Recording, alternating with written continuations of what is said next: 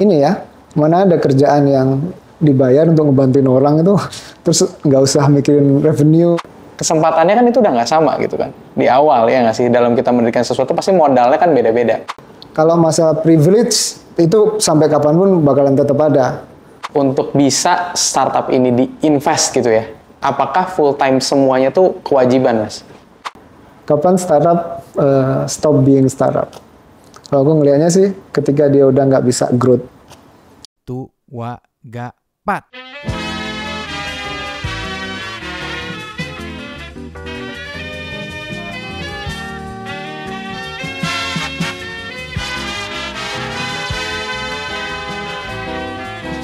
Anda sedang mendengarkan The Bernhard Para Show. Assalamualaikum warahmatullahi wabarakatuh. Selamat datang teman-teman, kembali lagi bersama saya Bernhard Faras dan hari ini kita kedatangan Sony Hendra Sudaryana atau biasa disebut Sony, Koordinator Program Kemenkominfo, Gerakan Seribu Startup Digital, dan Startup Studio Indonesia. Ya. Profil lengkap dari Sony dapat dilihat di pranala.link slash sony.sudaryana. Terima kasih sebelumnya Mas Sony sudah bersedia hadir Sama-sama. di podcastku ini.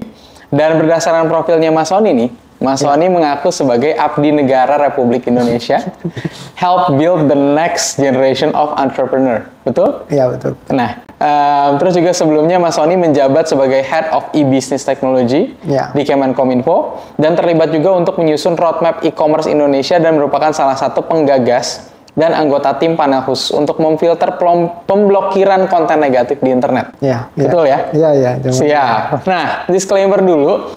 Saya adalah salah satu lulusan dari program Hatch 1000 Startup Digital, di mana 1000 Startup juga sudah menjadi customer dari Pranala, salah satu startup yang saya bangun. Dan profil resminya juga sudah didukung oleh Pranala.link dan ID card juga sudah disupport oleh Pranala Tech. Betul ya, Mas? Iya. Disclaimer dulu nih sebelum kita mulai kan biar nanti takutnya oh iya itu bisa nge-podcast karena emang customer gitu kan. Nah, terus hari ini Mas, saya kan banyak bertanya nih sama Mas Sony terutama tentang satu startup yang dicari investor di 2023 itu apa? Kedua, apakah PHK startup yang banyak ini di tahun ini gitu ya, nggak cuma di Indonesia tapi di dunia juga, bahkan perusahaan-perusahaan besar seperti Google, Microsoft itu juga melakukan PHK, tapi apakah di Indonesia akan terus berlanjut nih sampai akhir 2023 atau bahkan extend? Terus yang terakhir juga lebih penting mana? Pendidikan atau koneksi atau privilege yang lainnya? Hai teman, berlangganan dulu yuk dengan menekan tombol subscribe dan nyalakan lonceng. Jangan lupa nyalakan caption untuk melihat keterangan dan pasang headphone untuk pengalaman yang lebih baik. Terima kasih sudah mendukung kanal ini agar terus membuat video yang bermanfaat setiap harinya. Selamat menikmati. Bisa ada waktu nih mas buat pikir buat jawabannya.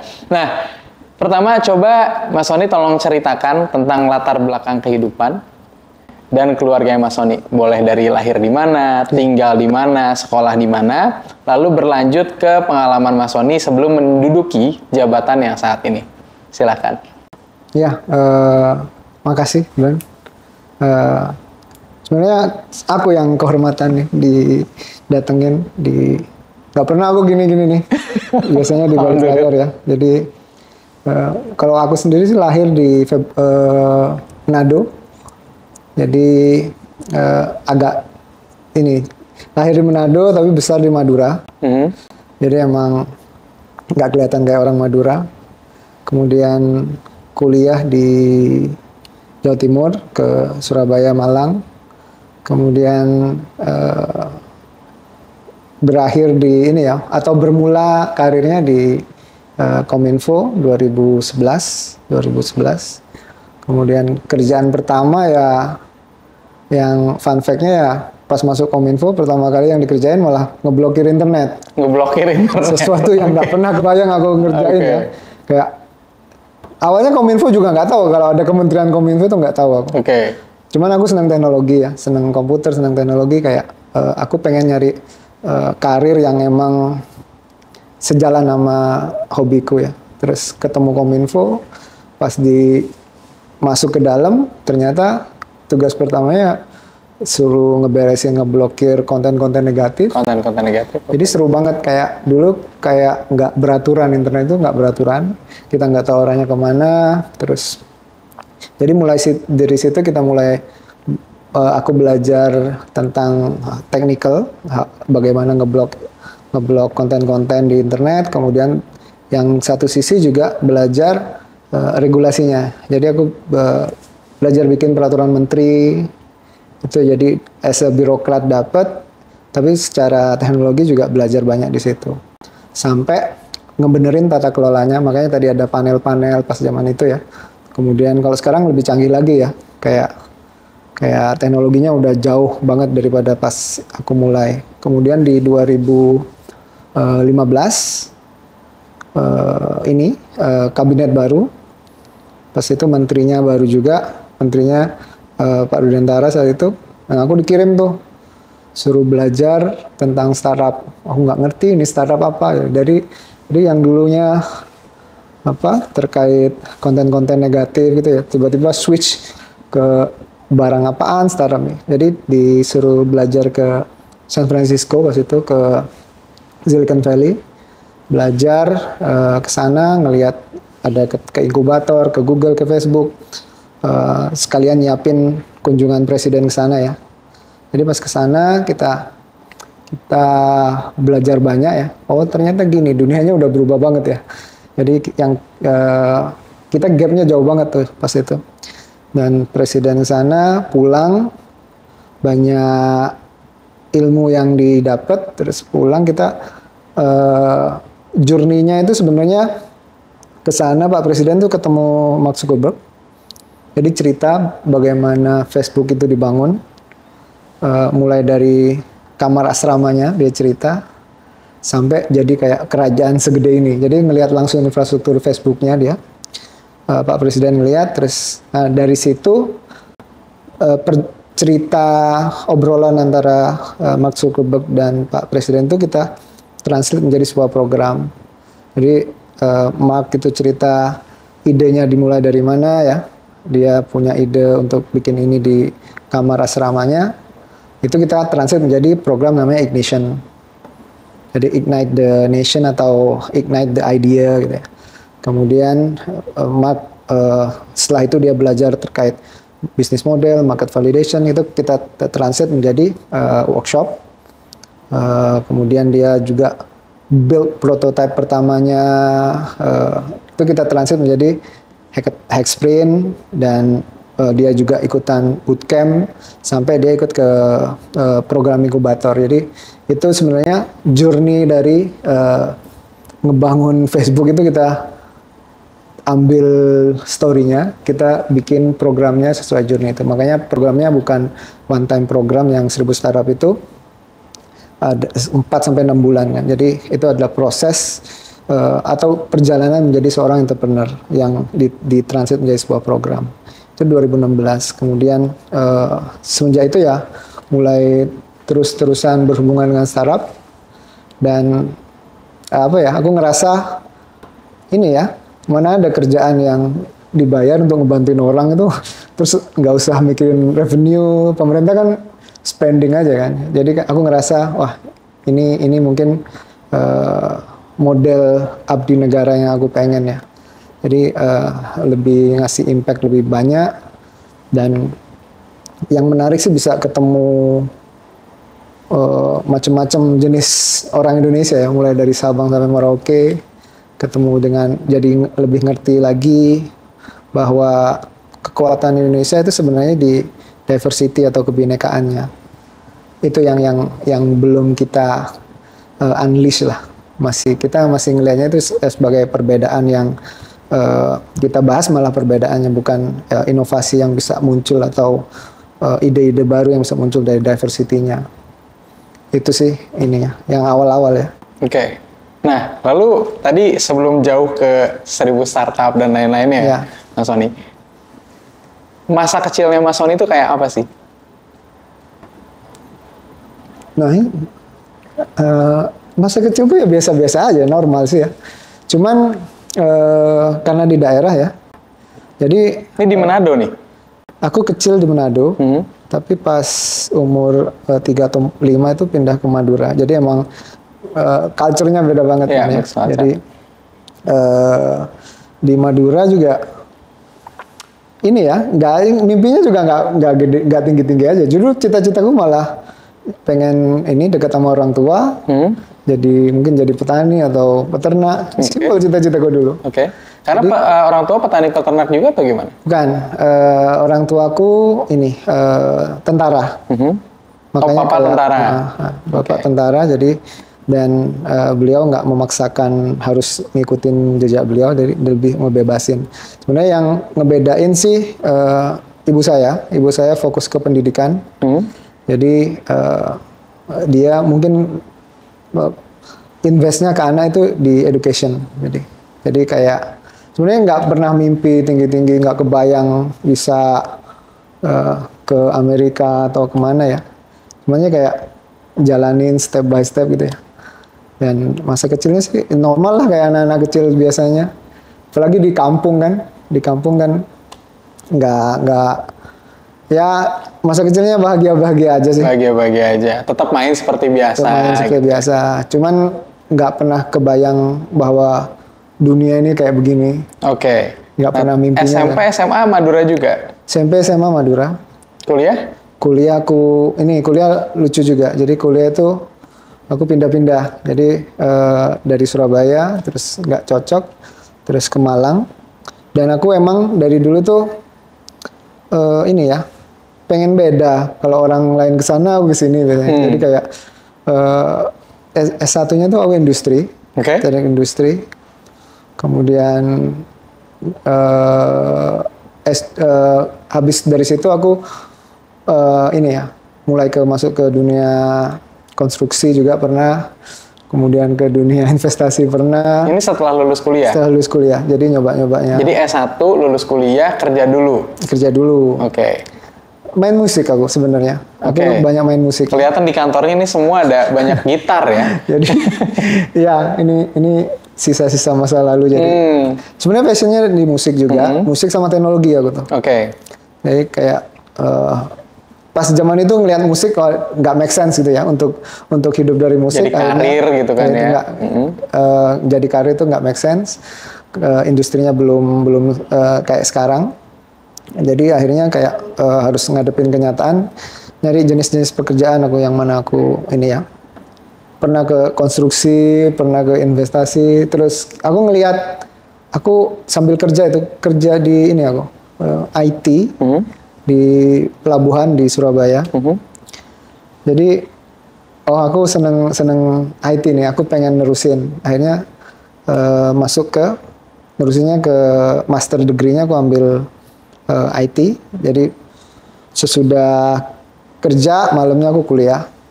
Aku pernah kuliah bareng itu tiga tiga kuliah. Aku juga ini S1 juga aku pengen tahu desain. Aku kuliah D1 desain D1 desain Ya, cuman- sambil S1. sambil S1. Oke. Kan kalau kuliah tuh banyak nganggurnya kan ya. Jadi kita kayak eh, oh sore masih kosong ambil kuliah lagi. Jadi karena pengen tahu.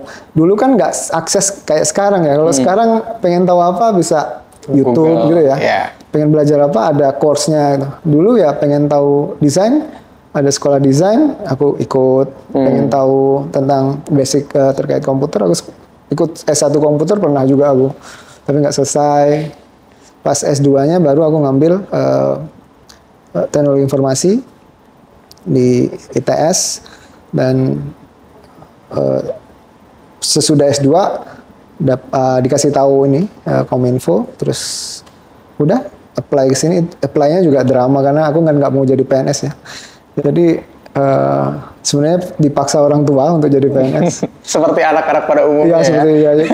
Makanya aku ngelihat anak-anak sekarang tuh, aku ngerti ya. Pa- Pada umur-umur eh, 20-an habis S1 itu arahnya ke mana pasti bingung ya. Dulu ketika debat tuh sama ibu ya, aku pengen jadi petani. Lu bayangin, bayangin ini kita mau, aku mau wisuda hari Sabtu, habis itu debat sama ibu mau jadi petani, jadi pulang ke Madura, ya modern lah misalnya petani bukan yang kayak zaman dulu ya petani peternak modern gitu. Cuman pengen bareng nemenin orang tua itu niatnya.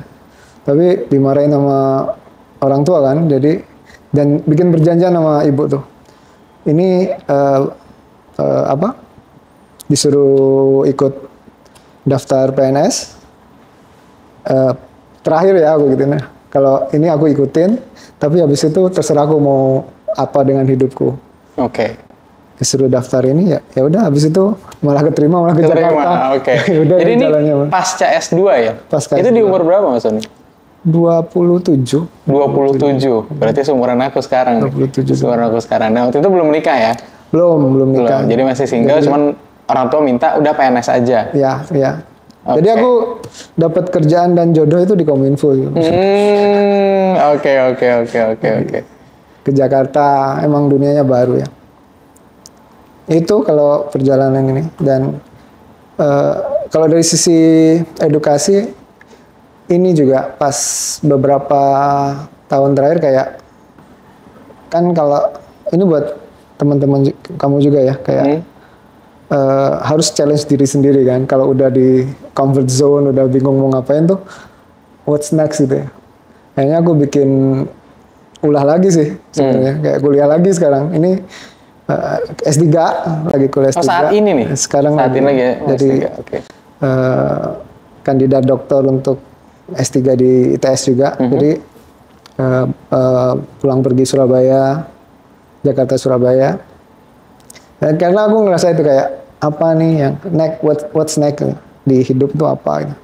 kayak pengen set higher bar juga kayak oh ya udah kuliah lagi karena kadang ngerasa udah sok tahu gitu ya ternyata kalau masuk ke akademis ternyata semua yang kita tahu itu salah juga gitu Iya, iya. jadi kayak eh, hikmahnya sih eh, kemampuan untuk unlearn ya jadi ketika masuk kampus juga ngalamin yang sama deg-degan ketemu dosen gitu.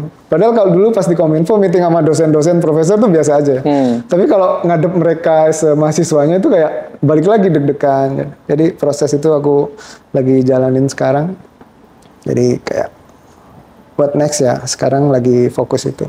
Lagi fokus S3 ini ya. Ya. Oke, nah tapi kan dulu PNS pilihan banyak mas, Ya. nggak cuman ke Kominfo. Kenapa pilihnya Kominfo?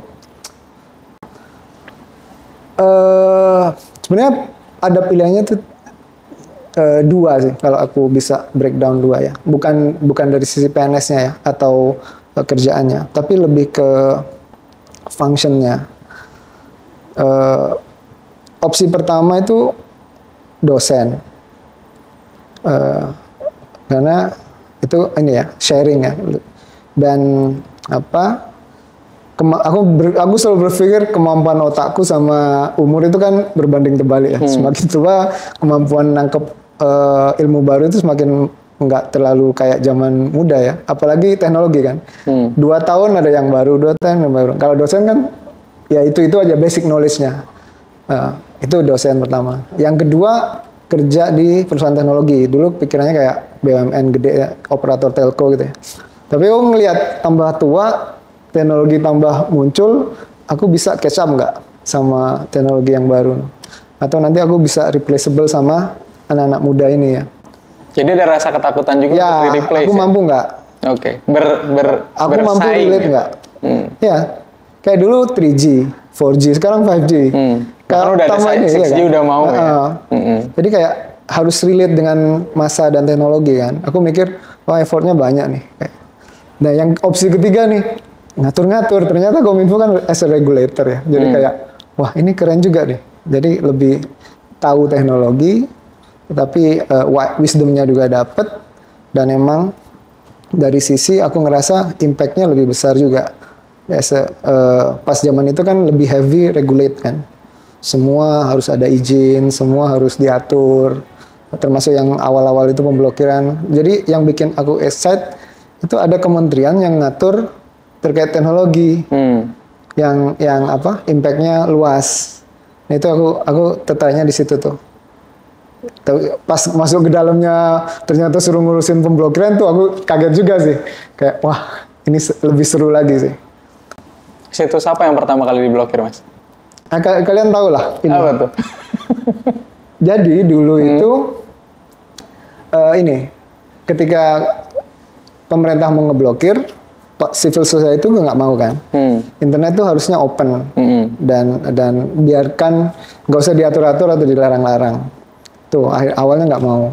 Tapi ketika ada kasus itu, kasus kalau nggak salah video ini ya penyanyi pas zaman itu sih, penyanyi Oke. Eh, sama sesama artis gitu ya, bocor ada beberapa Oh, video. saya sepertinya ya, tahu ini. Iya ya, Iya, iya, iya. iya tahun 2010 2011 lah. Captain Hook ya? Iya ya, Iya. iya, iya. yang itu nontonnya sambil miring tuh. Oke, oke, Jadi baik. eh, itu bo- itu keluar, itu pada protes tuh. Kominfo Oke. kok diem aja, nggak Kenapa nggak diblokir? Kenapa nggak dilakuin sesuatu? Itu kan kalau nggak salah eh, bocornya malah pertama diupload di YouTube. Hmm. Awal-awal YouTube juga nggak nggak tahu, nggak expect bakalan itu jadi ngupload itu kan. Jadi itu viral pertama tuh di YouTube. Kalau di YouTube kan pasti udah ada yang download juga pasti. Ya, jadi menyebar pertama itu di YouTube, eh, kemudian eh, butuh beberapa lama untuk ngeblok ini semua karena baru pertama kali ya. Jadi akhirnya eh, itu yang pertama kali diblokir resmi ya itu karena desakan masyarakat. Akhirnya setelah pemblokiran eh, pem- kom- kita mikir ya ini harus ada tata kelola yang jelas. Jangan nanti abuse of power aku apa mau ngeblok terserah atau nanti eh, nggak suka sama ini ini diblok. Harus ada tata kelola yang jelas. Akhirnya dibikinlah aturan menterinya tentang mekanisme eh, pemblokiran itu seperti apa dengan diatur juga teknologinya mau pakai apa. Dan mekanisme itu semuanya bisa diakses publik. Eh, kita transparan. Dan me- mekanismenya bisa diakses publik dan juga eh, kalau keberatan komplain juga bisa ini kadang ada juga kan yang eh, beberapa startup yang beberapa yang di di blog gitu ya dan mereka nggak tahu ternyata merchantnya jualan apa barang-barang yang ilegal, gitu. Ilegal, oke. bukan salahnya dia ya salah klien atau merchantnya jadi itu yang kita coba edukasi juga jadi kita pemerintah itu Indonesia itu terlalu luas untuk di di handle sendiri oleh satu institusi apalagi internet ya. Jadi kita butuh kolaborasi dengan banyak pihak. Gimana caranya bisa ngasih impact yang positif dari penggunaan internet ini?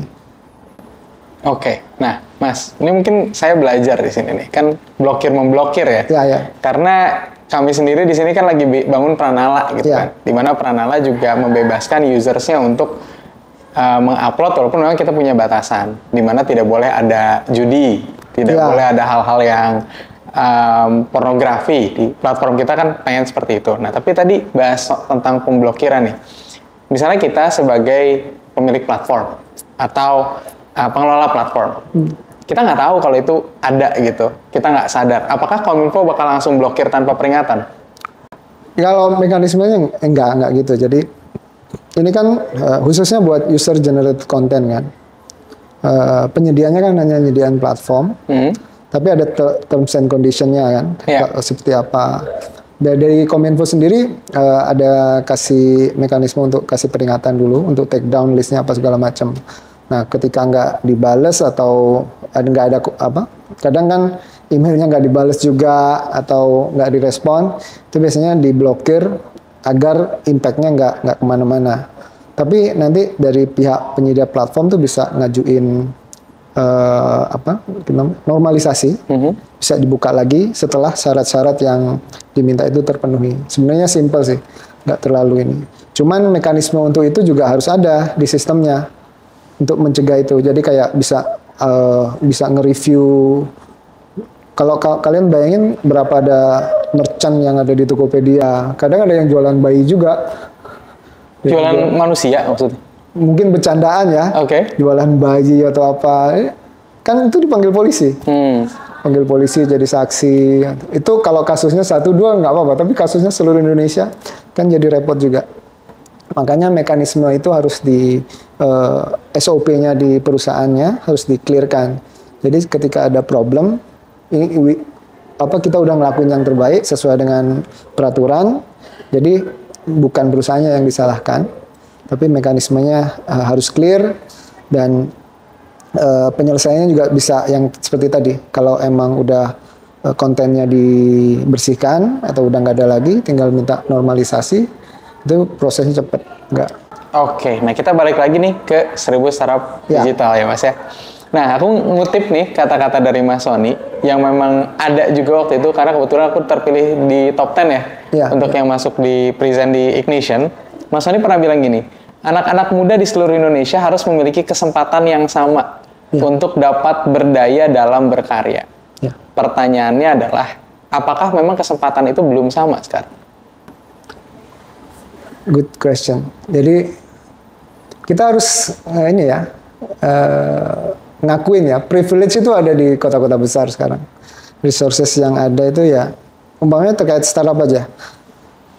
Lima tahun yang lalu ya yang tahu startup cuman Jakarta, Bandung, Surabaya bahkan nggak terlalu paham dengan kata-kata itu ya. Jadi eh, kita pengen semua anak muda, semua kota di Indonesia punya privilege yang sama, eh, hak yang sama untuk mengakses informasi dan resources ini.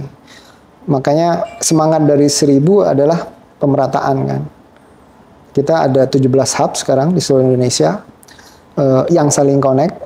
Jadi bisa apa sharing apa pun di 17 hub ini dan saya ngelihat saya sendiri ya berangkat dari kampung ya ngelihat kalau saya nggak ke Jakarta mungkin nggak nggak akan eh, seperti ini ya eh, knowledge saya.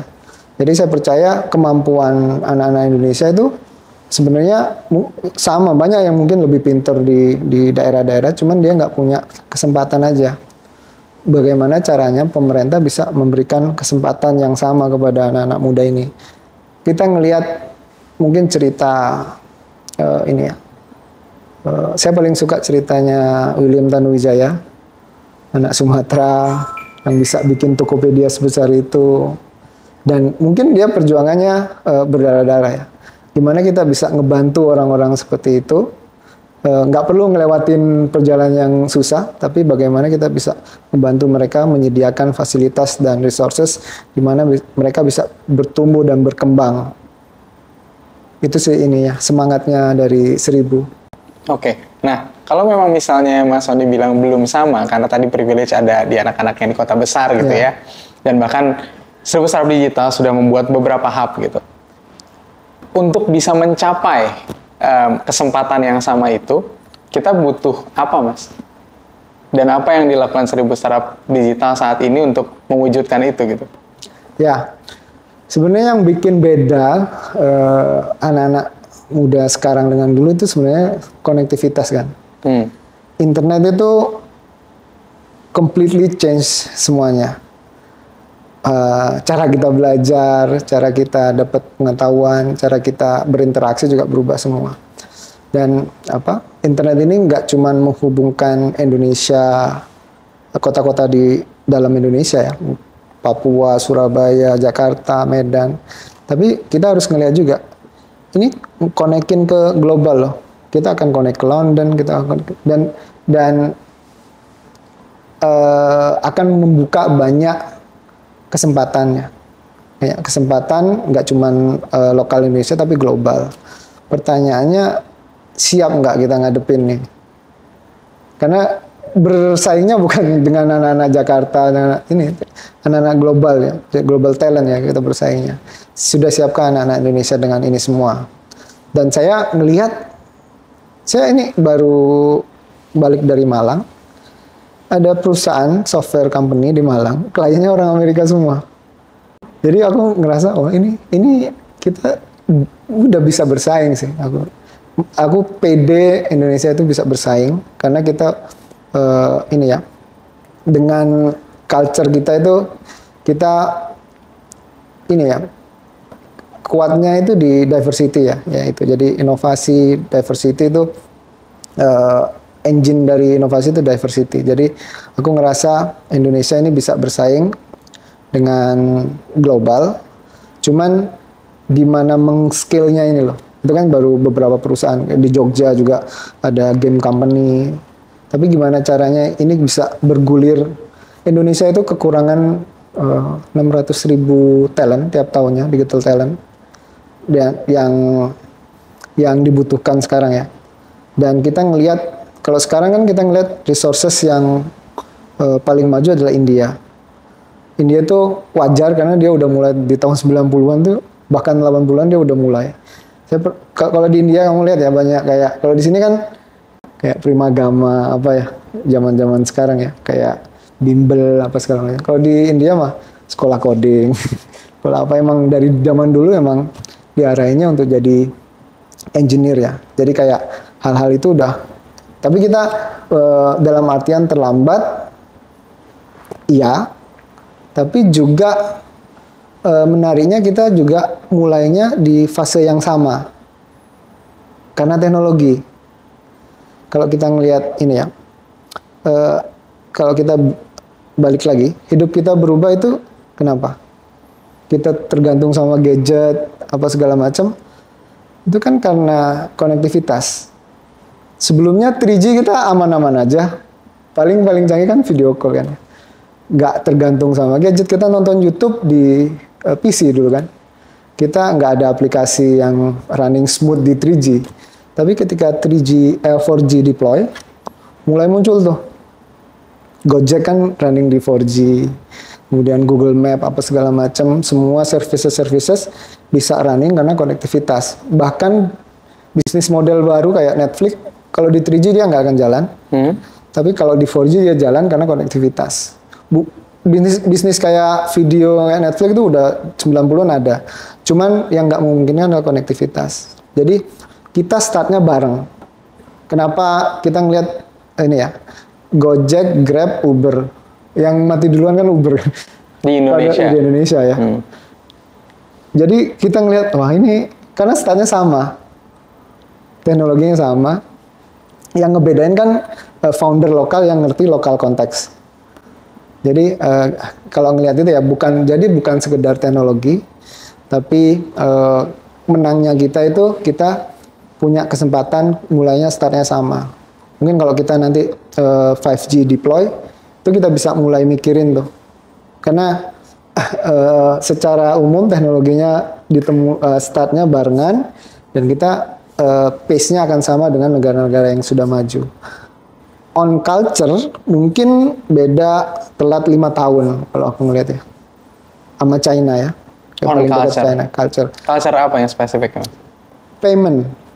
Di China bayar beli mie pinggir jalan itu udah 2016 sana udah udah pakai uh, apa handphone bayarnya di kita kan baru beberapa tahun uh, terakhir nih ya uh, payment. Jadi kayak uh, kalau aku gampang-gampangan sih kalau pengen tahu Indonesia lima tahun ke depan tuh lihat negara-negara kayak China India. Karena arahnya akan ke situ. Jadi kalau kalau kalian bingung kalau Amerika mau kejauhan ya. Kayak itu lebih lebih advance lagi. Tapi kalau ngelihat yang deket-deket tuh kayak China, India, what's happen in China dan India uh, akan kejadian di Indonesia tiga atau lima tahun kemudian biasanya. Oke. Okay. Nah tadi kan Mas Sony bilang kita terlambat ya. secara digital talent ya. Ya. Berarti kita terlambat berapa tahun dan harusnya kita ngapain Mas untuk bisa mengejar keterlambatan itu? kalau terlambat berapa tahunnya banyak sih banyak yang ngomong kita telat 10 20 tahun mm -hmm. nah uh, sekarang kita ngomongin ini ya bagaimana solve problemnya nah banyak itu ini ya uh, kita sering ngomongin antara gap antara uh, akademis dan industri. Itu itu banyak ya. Uh, problems ya antara output dari kampus nggak bisa diserap kerja apa segala macam. Kemudian kita ngelihat di perusahaan teknologi juga, di mana mulai perusahaan teknologi itu nggak pernah nanya ijazah juga kan, udah mulai itu uh, apa uh, nggak pernah nanya lulusan apa, ijazahnya mana, tapi lebih ke skill set. Dan uh, banyak juga akademi-akademi yang informal ataupun startup-startup yang fokus ke talent uh, kayak binar akademi ataupun uh, sekolah-sekolah uh, kayak di coding yang yang berusaha untuk solve problemnya atau bahkan unicorn sendiri masing-masing kayaknya punya akademinya Tokopedia Akademi, Gojek Akademi karena mereka ngelihat ini problem besar Indonesia yang Indonesia itu balik lagi Indonesia terlalu luas untuk dikerjakan sendirian. Saya ngelihat semangatnya akhirnya semangat gotong royongnya muncul apa yang bisa mereka kontribusikan ke negara mereka akan lakukan meskipun itu skalanya masih kecil ya. Jadi sekarang termasuk Kominfo juga uh, besar-besaran itu ada program Digital Talent Scholarship focusing kepada digital ta- create lebih banyak digital talent. Dan yang menarik sih eh, yang di Kominfo itu eh, Digital Leadership Academy. Jadi orang puncaknya yang em, eh, dimasukin ke program. Kamu bayangin, kamu jago ya, tapi bosmu nggak ngerti digital. Ide-idemu kan mentok kan ya. Jadi kita ngelihat salah satu yang eh, punya peran kunci adalah leadersnya. Entah itu bupati, entah itu kepala kantor, ataupun eh, orang-orang yang levelnya eh, di C level. Karena itu yang bisa bikin policy eh, digitalisasi ini go atau enggak ya. Jadi eh, kalau orang manusia itu kan eh, biasanya eh, ten kalau dia nggak ngerti biasanya dia lebih hati-hati. Kayak nggak mau bukan karena nggak mau, tapi karena dia nggak ngerti ini barang apaan. Makanya dengan Digital Leadership Academy itu eh, pimpinannya dis- diberi pemahaman terkait digitalisasi itu transformasi digital seperti apa, sehingga ketika ada dari bawah eh, ngajuin ide atau perubahan, dia bisa embrace itu karena udah ngerti itu yang yang uh, aku ngerasa beda di di program Kominfo. Gak cuman siapin talentnya, tapi on the strategic level juga harus disiapin mindsetnya. Oke, baik Mas. Nah, tadi yang Mas Sony sebut itu Ya. kan ada Tokopedia, Ya, ada Gojek, dan itu pun memang bukan dari program Seribu Startup Belum, bukan. Digital ya, Bukan. gitu kan ya, bukan ya. Bukan. Nah, eh, memang kalau kita lihat sendiri ya kita sebelum melihat perusahaannya pasti kita harus lihat dulu foundernya dong, ya, background keluarganya seperti apa, how they start the journey gitu ya, gimana cara mereka membangun itu semua. Nah, balik lagi nih ke kesempatan yang sama gitu. Kesempatannya kan itu udah nggak sama gitu kan. Di awal ya nggak sih, dalam kita mendirikan sesuatu pasti modalnya kan beda-beda. ya, ya. Jadi spesifiknya kesempatan yang sama seperti apa yang pengen Mas Sony wujudkan melalui jabatan Mas Sony sekarang? Dan oh ya disclaimer juga, aku juga kebetulan lulusan Digital Talent Scholarship juga. Ya, ya. Oh, Jadi udah di seribu startup digital talent scholarship juga. Tapi kalau dari Mas Sony apa yang mau diwujudkan? jadi kalau ini ya eh, ada ada tiga ya. Eh, semangatnya ya kalau di program get mentor. Jadi kesempatan yang sama untuk bisa dapat mentor. Eh, get network. Kesempatan yang sama untuk dapat eh, network atau jaringan, kenal dengan orang-orangnya. Yang ketiga get knowledge-nya. Jadi fokus utama dari program startup yang ada di Kominfo itu tiga. Eh, kita nyediain mentornya, nyediain networknya, sama nyediain knowledge-nya. Kalau masalah privilege itu sampai kapan pun bakalan tetap ada. Nggak ya kalau anaknya eh, dengan background ini sebenarnya sama aja sih. Kenapa dia lebih sukses karena networknya dia beda. Karena dia dari umpamanya dia kuliahnya di mana kan nulis dan networknya beda. Jadi kita pengen eh, semua itu punya network yang bisa diakses sama-sama, eh, knowledge yang bisa diakses semua, dan yang terakhir adalah mentor yang bisa ngebantuin mereka. Jadi simple, privilege sih tetap ada menurutku, tapi setidaknya kita punya standar yang sama, network yang sama, dan knowledge yang sama terkait ini. Oke, itu yang mau diperjuangkan ya, sama Itu itu, di situ ya. nah, bersamanya Baik, situ. nah itu makin clear nih. Nah, terus kan seribu startup digital itu lekat dengan kata-kata seribu kan. Ya. Ada seribunya di situ bahkan jelas Ya, banget gitu ya. Jadi yang mau diincar seribu startup digital itu startup secara kuantitas atau secara kualitas kalau bisa pilih salah satu, mas. Sebenarnya seribu itu ini ya eh, jargon, bukan numbers yang pengen di achieve. Gitu. Kita ngelihat bahwa pas itu eh, zaman, jadi lucu itu pertama kali aku ke Amerika tuh bareng Nadiem Makarim, William Tanuwijaya, eh, aku lupa, Ferry Unardi mungkin ya, sama Kaskus Andrew Darwis. Jadi kayak seumuran kan, kayak masih masih masih pada culun-culun tuh.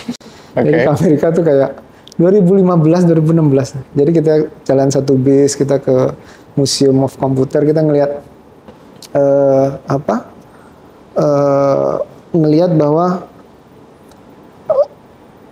jadi aku benar-benar ngelihat perjalanan mereka dari dekat. Jadi kayak eh, dulu juga nggak kebayang Gojek bakalan segede gitu ya. Terus Tokopedia bakalan segede. Kalau kalau nggak salah dulu bahasa Inggrisnya William masih biasa-biasa. Sekarang kan jago banget ya. Mungkin udah ngobrol sama investor apa. Jadi kayak dulu benar-benar beda banget. Jadi aku ngelihat eh, perkembangannya benar-benar ngeliatin. Kemudian kita ngelihat pas itu Gojek kalau nggak salah drivernya 200 ribu kalau nggak salah. 200 ribu orang ya. Jadi kita ngeliat wah gila nih. Satu startup bisa create jobs buat 200 ribu orang ya. gimana kalau ada seribu? Itu kayak jokesnya ini. Ya udah kayak kita ngeliat oh seribu juga kayak Indonesia kan biasa bikin candi seribu gitu kan kayak kayak banyak-banyak cerita yang seribu gitu ya. Jadi akhirnya kita ngelihat bahwa satu startup ini bisa ngasih impact. Mungkin dia cuma berapa orang ya tim intinya. Tapi kalau kita ngeliat sekarang ya eh, Gojek mungkin create job buat 2 juta lebih driver ngebantuin lebih dari Tokopedia ngebantuin lebih dari 10 juta UMKM dan gabungan dari dua itu kontribut 2% dari GDP itu baru satu startup. Gimana kalau ada seribu? Itu semangatnya. Jadi kita pengen lebih create lebih banyak lagi perusahaan create lebih banyak jobs. Karena Indonesia ini kan sekarang bonus demografi ya. Bonus demografi nanti puncaknya sampai 2030-an ya. Itu jadi engine economy growth yang bagus banget. Kalau kita well prepared. Kalau kita nggak prepare khususnya uh, dalam sisi penyediaan lapangan pekerjaan itu bisa jadi backfire kan. Bisa jadi ledakan pengangguran ekonominya malah bisa jadi masalah. Jadi uh, sebelum kita ke sana uh, kita harus create prepare untuk job creationnya. Yang paling make sense dan cepat itu salah startup. Karena uh, capitalnya dia nggak terlalu nggak ada uh, kemudian skillnya dia sangat scalable dan job creationnya direct maupun indirectnya itu bisa ya yang numbers yang saya ucap uh, sebutkan tadi satu startup bisa ngebantuin lebih dari 10 juta UMKM jadi uh, salah satu di lain di sisi lain juga mungkin di sektor lain ada juga job creation tapi yang di sek sektor yang kominfo ngelihat salah satunya ya startup itu potensi untuk create lebih banyak lagi jobs. Oke, okay. jadi Kominfo sendiri menggunakan startup sebagai job kreator ya, ya. Mem mem memproduksi banyak pekerjaan. Nah, tapi seperti yang kita tahu juga, mulai dari 2022 gitu kan ya, ada isu resesi, ya. terus juga um, sudah dirasakan bahkan gitu ya di luar negeri maupun di Indonesia banyak yang di layoff mas, gitu ya, kan. Ya. Bahkan teman saya sendiri kemarin, oh aku bakal di layoff nih kayaknya minggu depan gitu itu sekitar 80% timnya di layoff. Itu salah satu startup lah di SCBD ya, hmm. di daerah SCBD.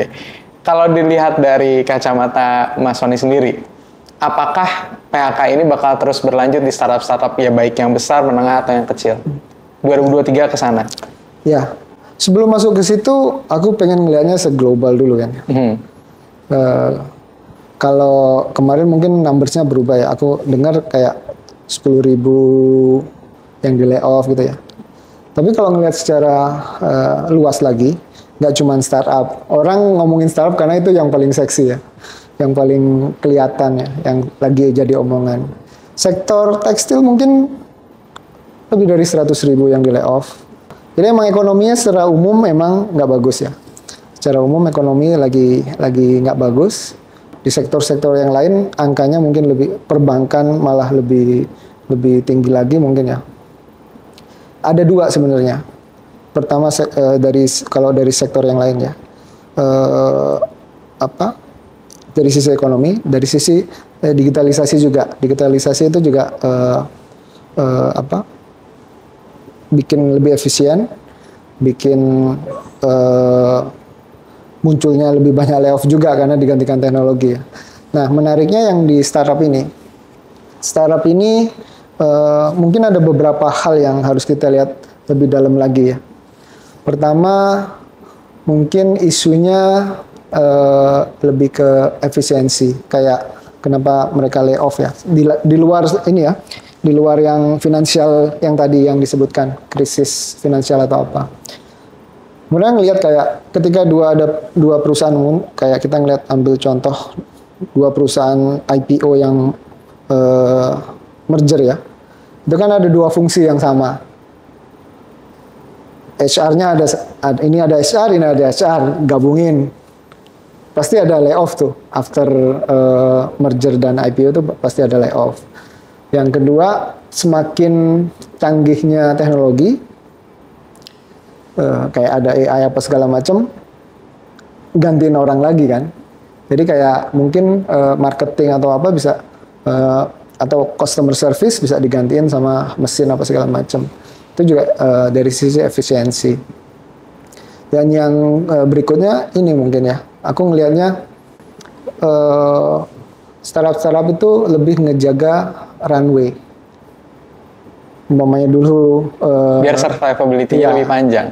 lebih ngejaga runway-nya biar lebih, leb- bensinnya lah ya biar bisa jalan lebih jauh makanya beban-bebannya dia eh, keluarin dan yang ketiga ini yang yang nggak nggak dibahas juga mungkin ya. Ketika pandemi semua sek- semua sektor tuh minus di Indonesia tuh. Pertumbuhannya minus. Cuman ICT yang plus. Salah satu yang dapat hikmahnya ya startup kan. Karena bekerja dari rumah eh, belajar dari rumah beribadah dari rumah. Jadi semua eh, apa startup-startup yang bisa mengatasi masalah itu naik semua usernya tuh. Otomatis mereka hiring kan untuk eh, apa eh, serve eh, usernya. Yang nggak mereka prediksi kapan pandemi ini berakhir kan. Nah ketika semua dari offline back eh, dari online back ke offline lagi usernya pasti turun kan. Jadi yang kemarin di hire udah nggak relevan lagi biayanya akhirnya banyak yang di layoff di situ. Jadi salah satunya mungkin kemampuan dari foundernya untuk predik eh, eh, pandemi ini agak miss at- atau euforia karena usernya naik karena pasti balik kan, eh, pasti bouncing. Jadi sebenarnya eh, aku ngelihatnya juga kayak mungkin kalau kita ngerasain mungkin kayak eh, Zoom. Dulu kan kita tiap hari Zoom. Sekarang aku paling Zoom sehari sekali kayaknya. Jadi eh, otomatis kan resources yang mereka butuhkan jauh lebih dikit. Berarti pegawainya harus di layoff. Itu perubahan ha- habit yang eh, mungkin salah mispredict. Jadi tapi secara umum eh, karena adanya eh, apa financial problem di global ini sekarang startup-startup lebih memikirkan eh, sustainability-nya. Jadi mereka lebih ngejagain eh, daripada perusahaannya yang ini lebih baik eh, ngurangin beban yang bisa lebih efisiensi lagi. Jadi per hari ini nih Mas, Februari kan ya. Ke depan bakal tetap berlanjut nggak PHK-nya? Kalau yang dilihat sama Mas. Kalau aku ngelihat ya digital itu pasti. Tapi Digital itu pasti? Pasti butuh lagi. Oke, pasti butuh lagi Pasti bukan butuh pasti lagi. di PHK lagi ya. Oke. bukan di PHK lagi. Jadi karena ini ngelihatnya, kan aku bilang tadi ada dua kan. Hmm. Eh, kenapa kita itu lack of digital talent? Pertama, new emerging teknologi, new emerging business, ya kayak startup, Gojek apa segala macam. Itu pasti butuh tuh, dan bakalan ada ide-ide baru. Eh, yang kedua, transformasi digital di eh, yang konvensional. Kita ngelihat Bank Mandiri, dia acting like a startup dan attract digital talent. Nanti semakin banyak perusahaan yang digital transformasi, tetap butuh. Yang aku bilang 600 ribu orang per tahun itu tetap akan dibutuhkan. Cuman sekarang kan eh, relate orang nggak eh, apa? Kenapa sih perusahaan itu eh, hiring? Karena dapat investment kan. Dia dapat investment, baru dia hiring. Ketika keran investmentnya ditutup, pasti mereka nggak hiring atau layoff. Jadi eh, tinggal eh, prioritas saja bagaimana eh, attract lebih banyak investor di Indonesia. Dan aku ngelihat kalau dari lima tahun terakhir in ASEAN itu investasinya total 19,8 billion kalau nggak salah. 9,2 itu di Indonesia. Jadi Indonesia masih tetap lahan subur untuk investasi bu- karena marketnya gede ya. Kita market ke empat terbesar dunia in terms of ASEAN ya. Dan dan di region kita nomor satu lah. Separuh ASEAN ya kita marketnya. Jadi ke depannya aku ngerasa ini cuman uh, bounce back aja nanti akan tetap akan dibutuhkan. Dan yang menariknya malah uh, banyak juga program-program. Jadi yang di layoff ini, umpamanya CTO-nya atau engineer level yang udah high, uh, ada beberapa dari ekosistem yang nawarin program untuk create perusahaan baru. Jadi kalau dulunya dia pekerja, sekarang malah kita tarik ya, mau nggak bikin perusahaan baru, entah itu di eh, seribu startup atau di startup studio. Jadi itu malah aku ngelihatnya bukan apa, blessing in disguise juga ya. Jadi talent-talent digital yang di layoff ini jadi punya opsi mau nyari kerja baru atau mau create bisnis mereka sendiri. Oke. Jadi ngelihatnya harus positif ya. Ini dia baru dipecat, kita kasih opsi. Mau lanjut kerja sama orang, mau bikin sendiri. Pun yang di PHK pun sebenarnya banyak juga hiring yang justru lagi cari posisi tersebut ya. Ya. Cuma memang di beberapa perusahaan ingin gedein uh, freeway, ada perusahaan yang emerging baru dan butuh. Jadi sebenarnya dia di PHK pun ada slotnya sebenarnya. Ada, ada. Oke, nah tadi ngomongin investor kan, salah satu memperpanjang freeway adalah ada investment baru lagi. Dari Mas Sony sendiri mungkin kalau ada tiga industri gitu ya, atau spesifik lah misalnya AI atau uh, makanan atau apa pun yang paling dicari investor di 2023 itu industri apa sih Mas? Top 3. Health, Mhm. education, Oke, sama yang deep tech. deep tech. Deep tech yang dimaksud itu apa Mas? Health yang dimaksud, education yang dimaksud seperti apa? Health itu lebih ke eh, ini ya. Di pandemi ini kita kan akhirnya balik menyadari yang sebenarnya yang dibutuhkan itu adalah kesehatan. Dan banyak sekali orang akhirnya sadar problem, problem banyak problem di kesehatan.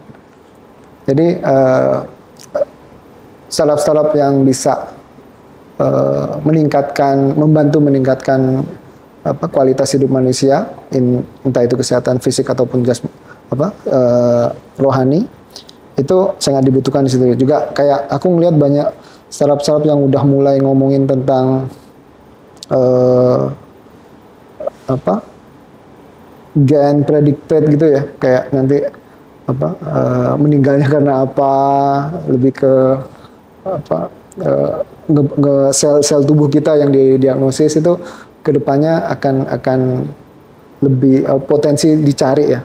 Yang kedua eh, education. Karena pas kemarin eh, benar-benar ngerubah cara pandang kita terhadap education. Mungkin eh, ini ya eh, jadi kebiasaan juga ya. Ada ada plus minusnya juga ya eh, terkait education. Jadi kita akhirnya tahu bahwa banyak Indo- orang Indonesia masyarakat tuh tahu bahwa oh belajar itu bisa di mana saja dan eh, siapa aja punya akses yang sama. Itu education ke depannya karena kita baru tap in nggak terlalu banyak ya eh, ininya. Masih uh, room for growth-nya masih masih signifikan lah untuk education. Dan yang terakhir ya di tech dalam artian ya nggak ngomongin e-commerce e-commerce lagi fintech fintech lagi tapi lebih ke yang teknologi teknolo- next next generation of technology. Mungkin yang kalau kita ngelihat ya kayak mulai ngomongin metaverse. Aku nggak tahu arahnya metaverse akan promising atau enggak tapi kayaknya kita mulai ngomongin ngomongin hal yang di luar di luar yang pakem-pakem yang kemarin ya. Kalau e-commerce mah udah kalau di Amerika kan udah tahun 90-an ya jadi dan playernya udah kalau kita mau bikin e-commerce lagi itu udah agak susah lah eh, nyaingin sama yang udah giant-giant. Fintech juga sama dan segala macam persoalannya ya. Dari fintech kan apa pinjol apa segala macam itu im- eh, efek negatif daripada teknologi itu mulai kelihatan ya. Makanya kayak eh, termasuk izin-izin terkait fintech itu ngedrop eh, sangat sangat signifikan ya. Karena eh, banyaknya eh, apa masalah di di di situ Dan eh, itu tiga sih menurutku lebih banyak lagi eh, startup-startup yang based on research, eh, research itu dari kampus ya. Aku ngeliat bahwa banyak kampus-kampus itu yang punya hasil riset yang hanya ada di perpus, nggak dijadiin barangnya, nggak dijadiin bisnis model. Mungkin ke depannya eh, bisa dimulai ngobrolin startup yang born dari university karena itu eh, potensi karena kalau research yang biasanya high tech itu selesainya ya setelah bikin risetnya di perpus udah nggak di nggak dijadiin apa eh, bisnis model ataupun dijadiin produk Oke. Kalau boleh jujur nih Mas, dari semua kan tadi kita Iya. banyak oh bikin startup, bikin kerjaan baru, bikin startup itu em, bisa mendorong inovasi Indonesia, ekonomi naik dan segala macam. Tapi startup itu apa sih Mas? Karena kan dari yang aku dengar tadi ya, oh startup itu teknologi banget nih, tapi kan persepsi publik sebenarnya Ya. startup tuh banyak versinya gitu. Ya, dari ya. Mas Sony aja nih, ini personally Mas Sony, menurut Mas Sony itu jadi startup apa?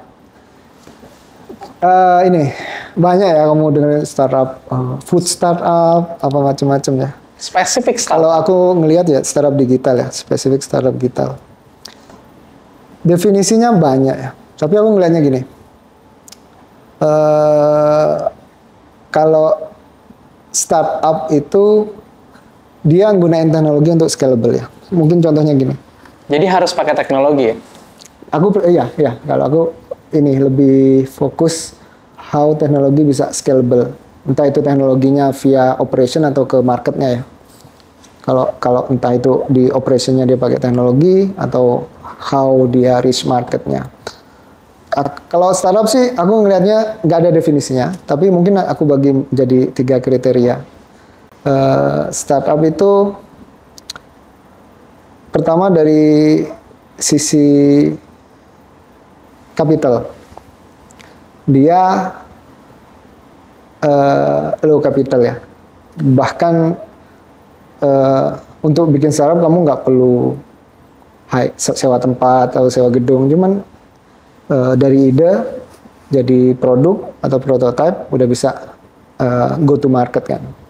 Jadi pertama itu dia eh, sangat eh, capital efficient.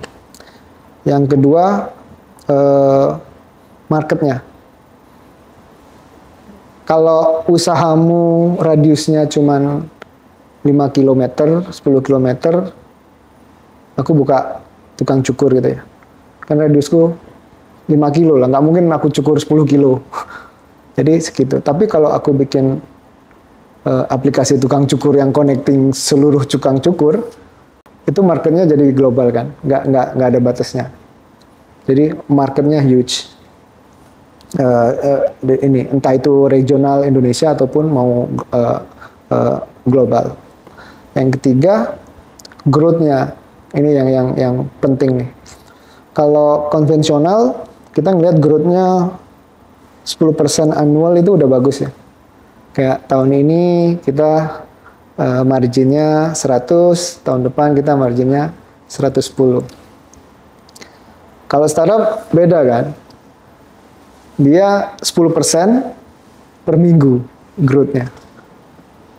Ini kalau kita ngelihat eh, traction-nya Gojek, minggu ini akuisisi 100 driver, minggu depan dia harus akuisisi 110. Jadi total 210.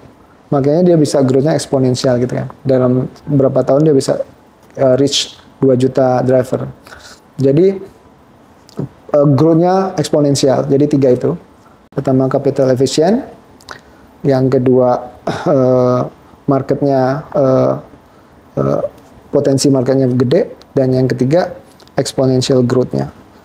Pertanyaannya kapan itu bisa dibilang bukan startup kan? Kapan startup uh, stop being startup? Kalau aku ngelihatnya sih ketika dia udah nggak bisa growth.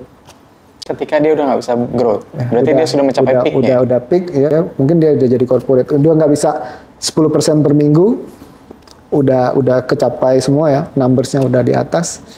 Mungkin uh, udah udah bukan startup ya. Kalau Apakah Gojek Tokopedia sudah bukan startup? menurut saya udah nggak udah udah Sudah bukan ya? kecuali dia growth-nya masih ini ya. Oke. Menurutku pribadi ya, ini eh, personal opinion. Tapi kalau negara-negara lain itu ada yang bilang as a regulation ya, kayak perusahaan yang di bawah lima tahun itu startup. Mm-mm. Jadi it- itu is uh, terms yang ini untuk untuk ngasih fasilitasi apa segala macam biar lebih clear, makanya mereka uh, ngitung dari umur. Tapi kalau dia umurnya meskipun udah lima tahun tapi growth-nya masih eksponensial dan dia masih butuh apa uh, investment untuk growth lagi, aku rasa itu masih bisa dibilang startup. Oke. Nah, startup itu kan mencapai growth salah satunya untuk meyakinkan investor ya Mas ya. Mas Sony setuju nggak sih untuk menggunakan metode bakar uang untuk biar growth-nya cepat? Mungkin bukan bakar uang sih menurutku. Itu masak. Cooking lah, bukan burning. Eh, kadang orang nggak ngelihat wisdom di baliknya ya.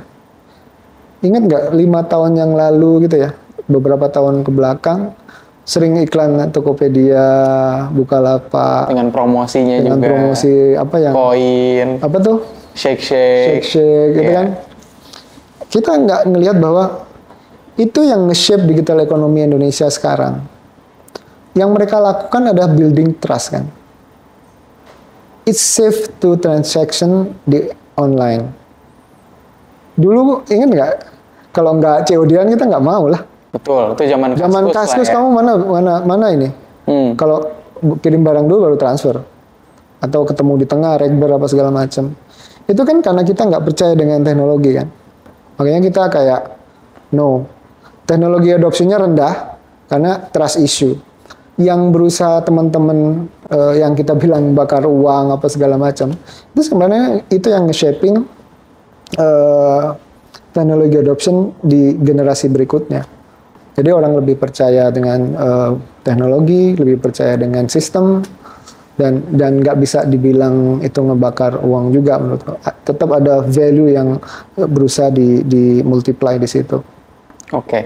Nah, kalau kita talk about cooking money ya, kayak kita Ya, cooking. ubah nih.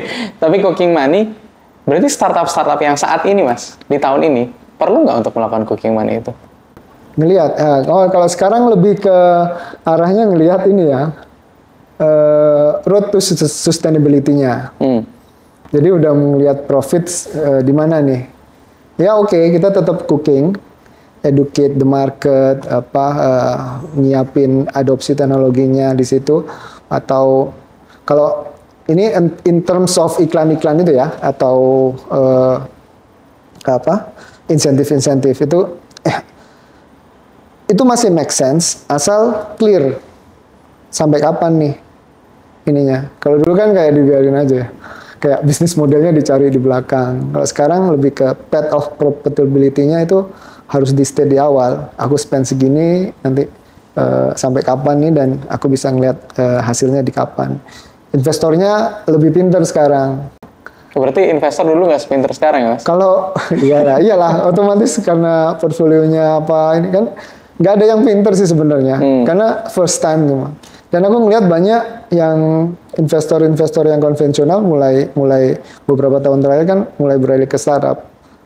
FOMO mungkin ya kayak ikut-ikutan gitu. Padahal nggak nggak ngerti esensinya apa. Jadi eh, itu juga perlu di ini juga ed- educate-nya nggak cuma di marketnya, tapi as a investor juga termasuk nanti kayak investor retail yang akan beli saham-saham startup yang IPO itu juga harus ngerti ngerti tentang hal ini. Oke. Nah, tapi balik lagi untuk bisa cooking money tadi gitu Ya. kan, untuk bisa masak uang tadi kita butuh uangnya dong. Ya. Kita butuh bahannya yaitu Ya. uang gitu kan. Nah, uangnya itu sendiri kan sekarang banyak investor asing yang masuk ke sini, Mas. Ya, Banyak juga investor lokal. Ya. Tapi mungkin yang di pengetahuan saya banyaknya asing nih. Hmm. Apakah dari seribu startup digital sendiri memprioritaskan investor lokal dibanding investor asing? aku nggak nggak ini. Aku ngelihatnya mungkin agak beda ya. Ngelihat eh, source of money-nya ya. Apa dari mana pun uangnya, masaknya kan di Indonesia. Hmm. Yang menikmati eh, investasi kan Indonesia. Hmm. Jadi kalau ngelihat eh, ini ya, kita ngelihatnya lebih dalam deh. Dari jumlah investasi yang masuk, kalau dari sisi pemerintah yang ngelihatnya, impact yang buat ekonomi Indonesia itu apa? Eh, job creation-nya nambah, hiring orang lokal apa enggak? Percuma juga investasi dari luar, nge-hire-nya orang dari luar juga Iya, kan? iya. Kan ini. eh, jadi ngelihatnya nggak cuman nggak cuman duit dari mananya. Kalau dari mana sih asal dia masuk Indonesia itu fine karena akan di spending di Indonesia. Tapi ngeliat di dalam bener nggak ini create jobs di Indonesia atau value-nya malah dibawa keluar. Tapi aku ngelihatnya as simple eh, ini ya, yang kayak eh, cooking tadi ya, uangnya Eh, iklan apa segala macam, creating jobsnya di Indonesia itu yang lebih lebih kita fokuskan impact ke ekonominya. Uangnya dari lokal ataupun dari luar nggak ada masalah menurutku. Oke, jadi bukan permasalahan uang dari mana, Hmm. luar atau lokal, tapi lebih ke kayak mengolah uangnya itu gimana. Ya, di impactnya di sini. Oke. Jangan sampai kayak investasinya separuhnya untuk bayar teknologinya yang berasal dari mana. Oke, oke. Jadi harus tetap mayoritasnya di sini ya Sini. untuk pekerjanya dan lain-lainnya. Nah, pertanyaannya lagi Mas, ini menarik nih. Kenapa? Karena salah satu kita bangun sebuah startup, pasti impiannya kan kita menjadi seorang owner. Ya. Sedangkan saat ada investasi masuk, berarti kan kita akan terdilusi kan dengan ada investment investment investment yang masuk. Nah, ketika kita sudah tidak menjadi majority misalnya gitu kan, let's say kita tinggal sisanya satu persen dua persen, Ya. mungkin kita nggak nggak usah sebut merek lah ya, Ya, tapi ya. ada beberapa yang memang sudah seperti itu. Pandangan dari Mas Sony sendiri, gitu kan ya. Saat misalnya startup kita udah tinggal segitu dan mayoritas akhirnya jadi kepemilikan asing, Hmm. Mayoritas pemiliknya adalah orang-orang asing lah, baik itu Singapura, um, Hmm, iya. um, Jepang dan lain-lain. Itu goal yang ingin diciptakan nggak sih? Ya udah biarin aja lah, yang penting investasinya masuk, kita nggak dapat mayoritas nggak apa-apa. Aku pertanyaanku kamu sebelum jawab itu ya pertanyaanku ke kamu nih ini Eh, yang harus ditanyakan eh, bukan masalah ownershipnya ya visimu itu ke reflect nggak ke startupnya aku kalau aku pribadi ya aku nggak peduli mayoritas tapi se- se- selama visiku masih di run oleh company-nya is fine. Eh, itu yang pertama. Kecuali kayak udah melenceng aku harus take control. Itu makanya eh, choose your investor wisely. Apakah punya visi yang sama dengan kamu ataupun setelah kamu nggak eh, kita nggak mayoritas apakah tetap jalanin visi yang eh, atau solving problem yang di- dari awal kita ini ya yang kedua eh, umpamanya kamu akhir kita akhirnya dapat 10% ya Ya, kamu mending as a, ini ya, as a manusia biasa ya. Hmm. Kamu mendingan 10% dari satu miliar atau 10% dari satu triliun. paham. Jadi aku ngelihatnya dua sisi itu. Aku nggak keberatan, aku punya 10% tapi yang dari satu triliun dan masih tetap jalanin eh, visi perusahaannya. Makanya di, di journey-nya harus benar-benar eh, milih investor itu harus benar-benar diperhatiin, nggak cuma dari sisi uangnya, tapi dari sisi visi dan network yang dia bawa. Nah, balik lagi, betul banget. Ya memang pasti lebih mending satu persen dari satu triliun dibanding 100% dari 100 ribu rupiah gitu kan. Memang itu aku setuju banget mas. Tapi balik lagi tadi visi ya, karena banyak kan kita bangun-bangun startup, karena kan pengen ada yang pengen kita ubah nih, ada yang ingin kita perbaharui nih, tapi nggak bisa kita wujudin di sekarang karena penentu kebijakannya bukan kita Nah, decision makernya bukan kita. That's why we make something kan. That's why we create something gitu maksudku. Nah dari sini, um, misalnya kita dapat investor, ya balik lagi tadi kan, due diligence kan juga nggak cuma dari investor, tapi due diligence dari si uh, founder-founder startup ini. Namanya founder startup pasti banyak salahnya juga kan, Mas? sama kayak investor tadi. Tapi kalau misalnya tadi kita sudah tidak mayoritas, kita kan sulit untuk memaksakan visinya, apalagi kalau misalnya mayoritas ada satu pihak gitu cara mitigasinya gimana Mas Sony? Menurut Mas Sony, how to measure that gitu? Ya, ya, it's just about instingmu as a founder ya. Harus bisa ngebaca arahnya ini ke mana. Jadi eh, engine utama dari startup itu bukan menurut saya bukan bisnis modelnya, bukan ini, tapi foundernya. Kalau udah kehilangan foundernya itu kayak kehilangan soulnya. Jadi yang yang ngedrive startupnya itu di foundernya. Dan ketika foundernya udah salah arah bisa sampai lost control itu ya mungkin salahnya foundernya. Tapi ya menurutku sih harus ada eh, ini founder material yang harus yang harus dimiliki oleh semua founder ya. Bisa predict dan eh, choose wisely ya. Sebenarnya nggak relate juga kamu nanya gitu ke aku karena aku bukan founder. Aku nggak aku perspektifku jawab dari pengalaman teman-temanku ya. Betul. Karena kalau ini kan aku belum pernah set up my own company. My company, ya. Masih masih saya kerjaanku kan PNS tapi ngelihat dari perspektif eh, ini engine atau eh, penggerak utama dari startupnya itu ataupun keputusan investor masuk atau enggak itu ke foundernya bukan bisnis model. Bisnis model bisa minggu depan ganti, eh, tim di bawahnya juga bisa silih berganti, tapi founder itu yang heart and soul dari startupnya. Oke, that's why seribu startup digital sendiri seleksinya founder tuh ketat banget ya mas ya? Di eh, deck terakhirku judulnya Invest in Founder. Hmm. Nah, itu yang menarik tuh. Karena makanya relate-nya kenapa? Karena aku bakal ke sini nih. Jadi foundernya itu sendiri kan di seribu startup digital bahkan spesifik ya. Ada hustler, Iya. hipster, hacker. Ya, Kenapa itu menjadi sebuah persyaratan, Mas?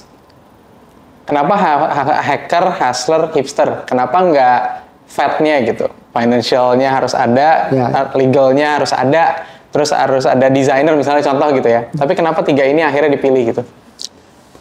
Ah, sebenarnya secara basic eh, kita ngelihat bahwa eh, as a founder is a lonely journey. Jadi jangan dikerjain sendirian.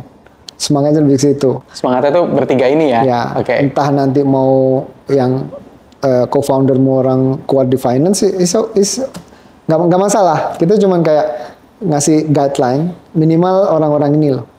Kalau kamu ada preference yang lain, tergantung sektornya juga kan. Kalau aku mau bikin apa ya ya kayak fintech, berarti ya harus ada orang yang kuat di finance atau orang yang kuat di eh, apa sektor yang mau dia bangun. Jadi itu kayak lebih ke jelasin bahwa this is a lonely journey, jangan dikerjain sendiri dan harus saling melengkapi. Jangan berpikir bahwa one man show, one man can do anything. Terus karena ini kan eh, maraton ya. Eh, jadi harus pace-nya itu harus dijaga. Kalau tiga orang kan satu capek atau lelah atau mentok, yang dua masih bisa backup. Tapi kalau satu orang doang dia kecapean, udah bubar perusahaannya.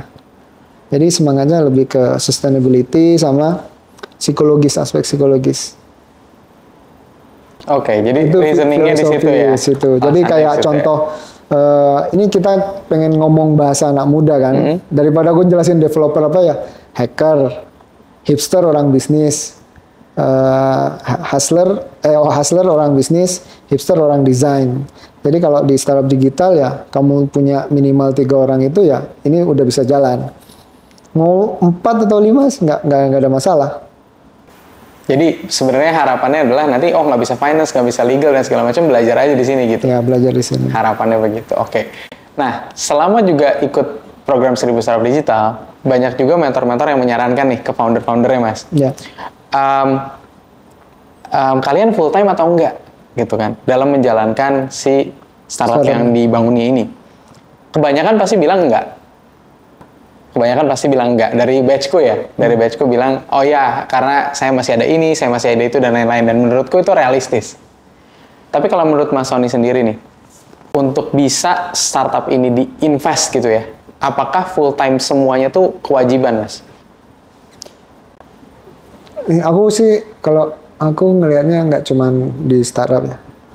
Kalau kamu ngelakuin segala sesuatunya setengah-setengah ya nggak akan maksimal ya. Apa pun itu ya. Ini kan kayak kalau nggak full time kan nggak setengah-setengah. ya.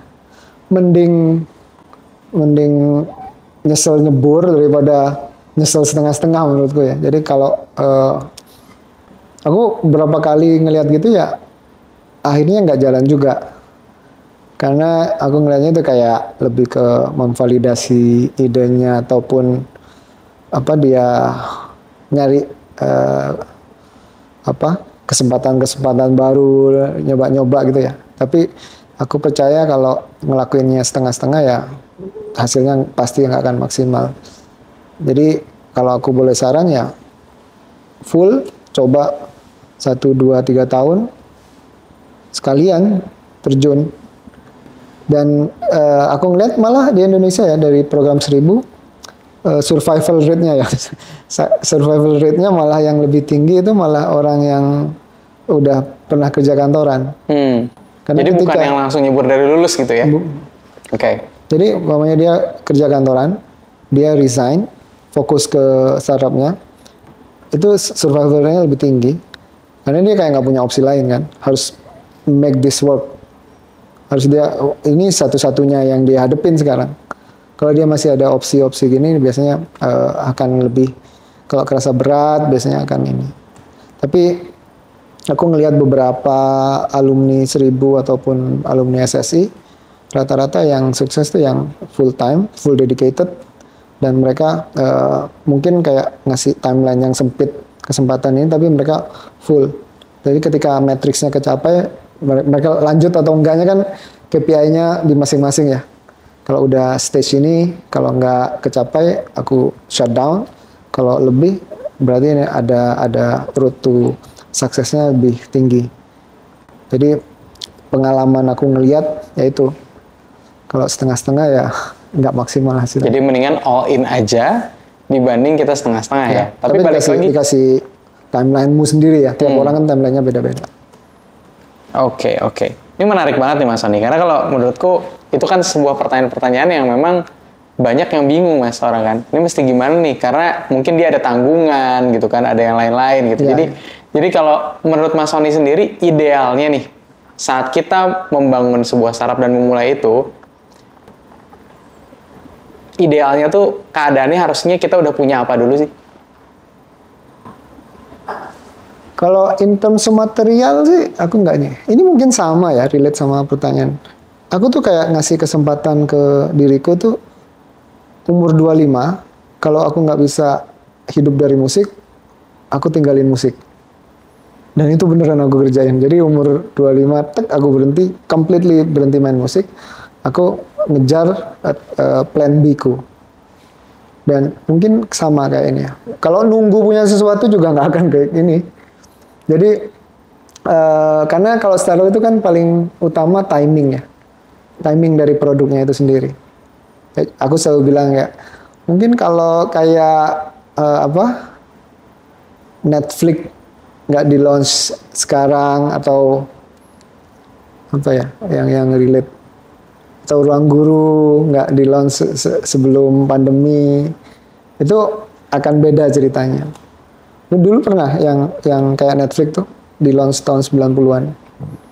Karena marketnya belum ready, payment system, ah ini juga kayak Uber dan Gojek. Karena karena kan marketnya belum ready, lebih ke timing sih. Karena orang Indonesia kalau pakai Uber kan pakai kartu kredit. Uh, finansial inklusi terkait kartu kredit Indonesia rendah banget dan lebih lebih senang bayar cash dan Gojek memungkinkan untuk bayar cash meskipun dramanya kurang kembalian apa segala macam ya. Tapi itu yang make sense di marketnya. Jadi timing sama maturity dari market itu nggak bisa nggak bisa ditungguin nunggu kamu siap. Jadi lebih ngelihat makanya startup itu banyak yang gagal di ketika produk market fit marketnya apa produk yang dia tawarkan nggak uh, fit dengan market yang coba dia jual produknya. Itu yang yang yang kita kita ngeliat. Makanya startup studio itu fokus ke produk market fit. Timing sih sama maturity dari ininya. Kalau sekarang kamu bikin e-commerce mah gampang kan? Semua udah punya payment system. Tahun 2000 bingung mau bayar pakai apa. Sekarang sesimpel mau bayar pakai OVO atau apa kan? Tinggal tinggal install jadi eh, nggak uh, nggak perlu nunggu dari sisi ininya. Yang malah penting adalah nunggu market maturity-nya sama timingnya kamu launch-nya itu pas. Oke, terima kasih banyak Mas Sony. Nah ini pertanyaan terakhir dari aku nih ya. Hmm. Dari seluruh perjalanan hidupnya Mas Sony sampai bisa menca mencapai titik yang saat ini, menurut Mas Sony privilege terbesar apa sih yang di yang ada di diri Mas Sony yang mungkin orang lain nggak dapetin itu yang bisa bikin Mas Sony jadi kayak sekarang? Ini ya, eh, yang sekarang aku ngelihat aku bisa di titik sekarang tuh aku nggak pinter ya nggak nggak secara akademik nggak terlalu ini cuman yang aku selalu bawa ininya sopan sih sopan sama Toma itu behavior kalau ngadepin yang lebih tua. Itu kadang anak-anak muda sekarang tuh uh, yang kurang itunya. Uh, sopan santunnya ap apalagi Indonesia ya yang menurutku power kelebihan orang timur tuh lebih kesopan santun. Sama yang kedua ini menurutku sukses itu ditentukan dari how many handshake you made? Salaman kenalan sama berapa banyak orang kamu kenalan? Sama how many conversation yang you made? Jadi semakin banyak ngobrol semakin banyak kenalan itu yang ngebuka peluang sukses kita. Apalagi ditambah sama humbleness sama uh, sopan santun itu sih yang bisa ngebuka lebih banyak lagi jalan bagi kita. Yang aku rasa ya mungkin tiap orang jurnya akan beda-beda jadi dua hal itu yang benar-benar impactful banget bisa mencapai ke titik saat yeah. ini Oke, okay, Mas Sony, that's all from me. terima kasih banyak ini sudah menyediakan waktunya. Teman-teman juga terima kasih banyak sudah menonton konten ini. Ya. Dan yang pastinya saya Bernhard Paras, seorang inovator muslim Indonesia, pamit undur diri. Wassalamualaikum warahmatullahi wabarakatuh. Terima kasih banyak, Mas Sony. Thank you. Thank you for coming. Subscribe ke bern.id. Dan jangan lupa untuk mengunduh Pranala App. Untuk video terbaru, kamu bisa klik video di kanan atas, dan untuk video rekomendasi, bisa klik video di kanan bawah. Terima kasih.